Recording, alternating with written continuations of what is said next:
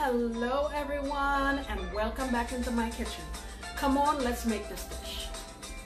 Alright guys, so I have a little supporter who lives across the ocean.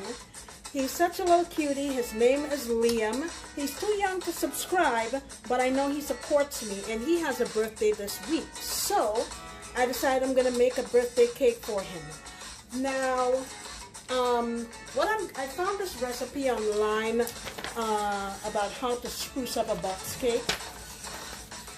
And that's what I'm going to be using today. I will tell you what I have here. I've chosen this Party Rainbow Chip Cake Mix.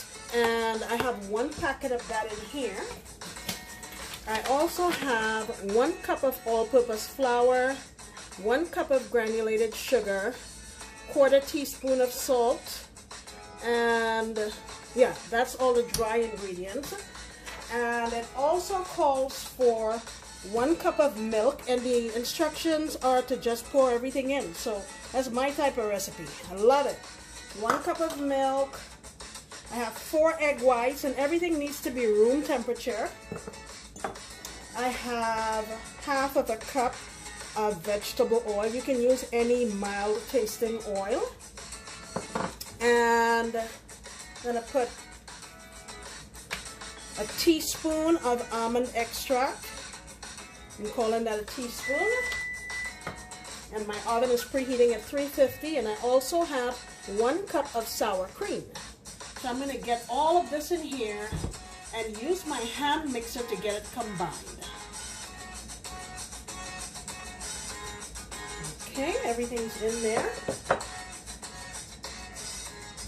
All right, my mix is ready to go and I've cut a piece of parchment paper and all you do is get a piece of parchment, fold it and try to gauge where the end of your pan is and then cut it into a round.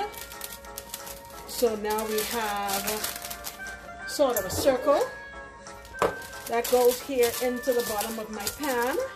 It just makes it easy for us to get the cake out later and I am greasing my pan here. Let me get my cake in.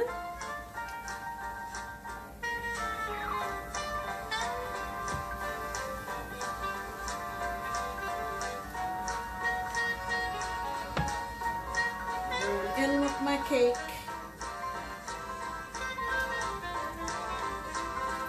And the instructions say at 350 for 30 to 35 minutes.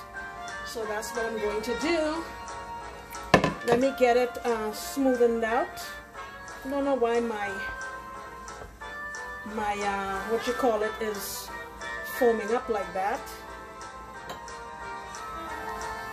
My baking spray. Anyway,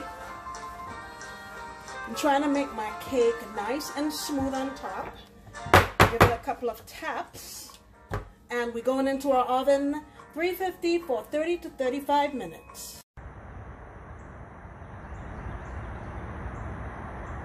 Alright, so our cake just came out of the oven. It was actually in there for 45 minutes and I'm planning to use this uh, whipped cream cheese frosting to put on it but obviously I can't do that right now because I have to let my cake cool completely. I will um, let it cool and once I frost it, I'll come back and let you see what it looks like. Um, I'm going to show you some pictures here of cute little Liam. Alright guys.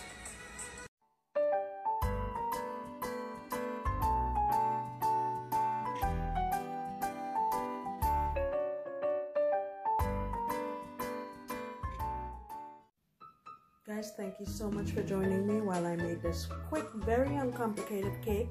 And look how lovely this turned out.